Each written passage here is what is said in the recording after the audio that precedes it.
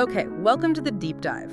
Today we're really getting into some research that's uh, creating quite a bit of excitement. It's about the fight against HIV, specifically that really, really tough goal of finding a cure. We're looking at an article about work coming out of the Peter Doherty Institute for Infection and Immunity down in Melbourne. That's right. And this isn't just, you know, tweaking current treatments.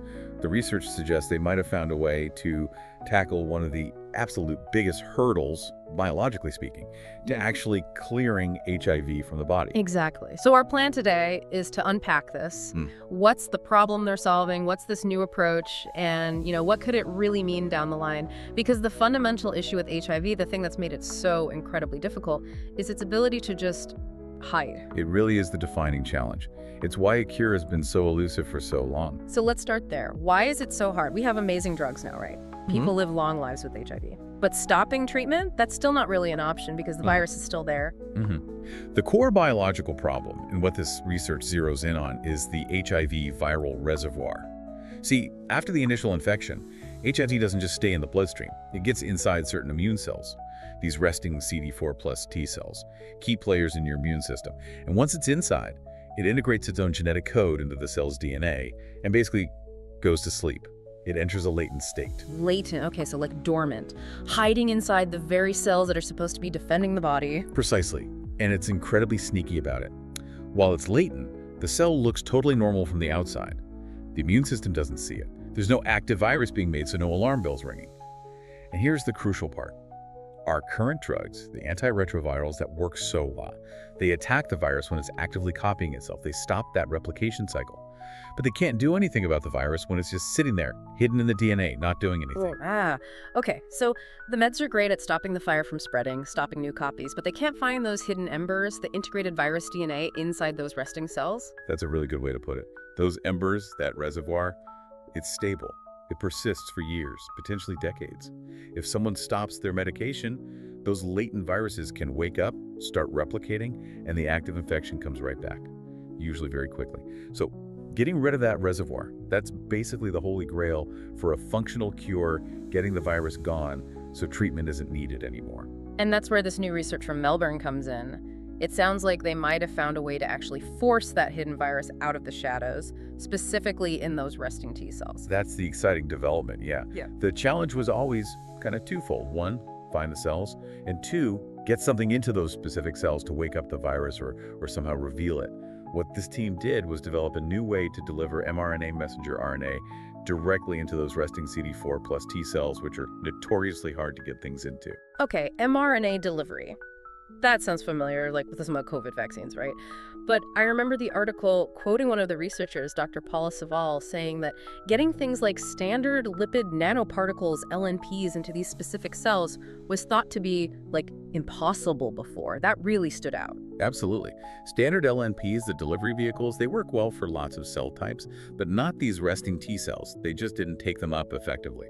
So the Doherty team had to engineer a completely new type of LNP. They tweaked its structure, maybe its surface, to make it compatible with these specific cells. And once that special LNP gets the mRNA inside, well, the mRNA is like a temporary instruction kit for the cell. Got it. New delivery truck gets the instructions inside the hard to reach cell. So, what are the instructions? How does the mRNA make the hidden virus reveal itself? This is the really clever bit. The mRNA doesn't actually tell the virus to wake up and start replicating like crazy. Instead, it instructs the cell to produce certain signals, certain markers on its surface. These markers basically act like a flag, saying, hey, something's not right inside here, specifically pointing to the presence of that hidden viral DNA. Ah, okay. So it's not flipping the main power switch for the virus, it's more like telling the cell to turn on a warning light outside, like dormant HIV inside. Exactly. It makes the cell visible. Suddenly it's not hiding anymore. And you can tell how big a deal this was from the researchers' reactions in the article. Dr. Saval said the first results seemed almost too good to be true.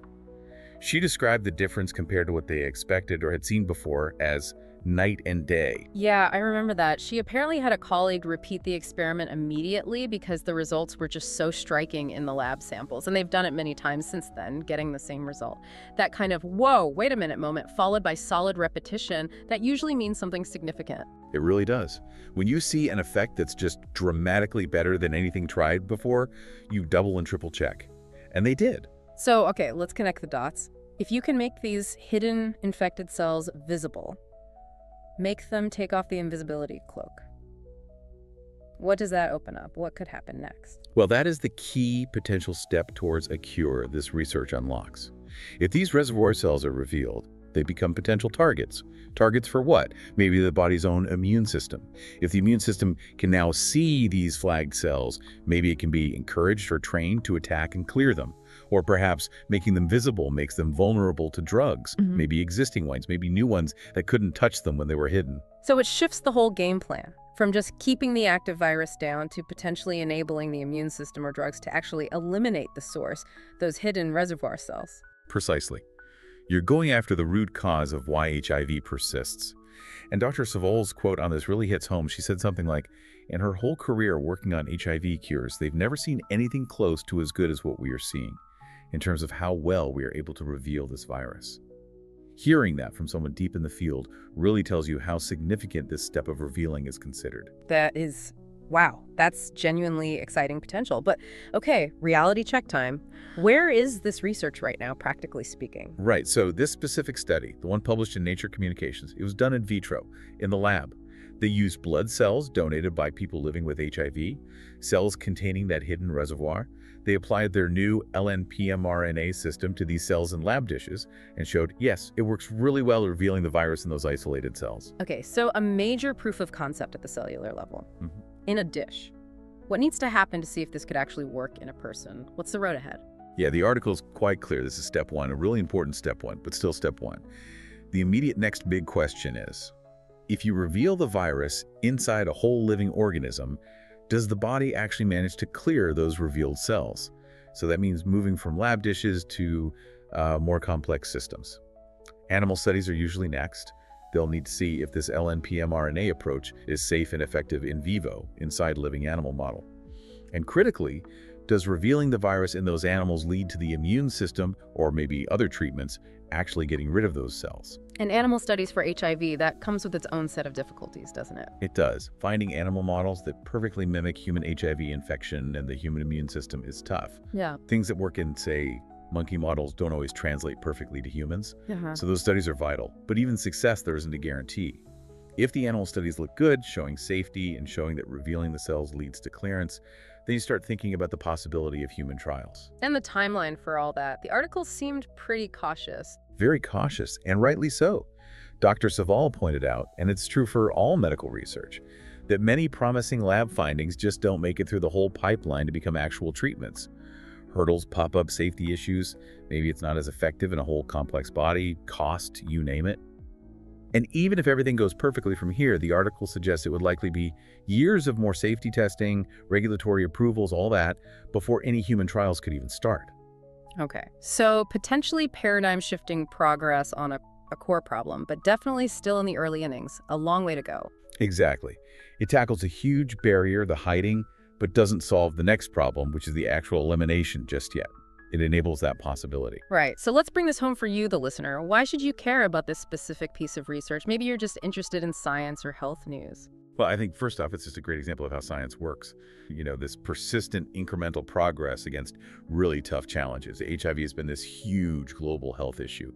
And seeing researchers figure out ways around its trickiest defenses, like this hiding mechanism, it's uh, it's genuinely hopeful. Shows the long game paying off. And it also highlights some cutting edge technology that goes beyond just HIV, right? Absolutely.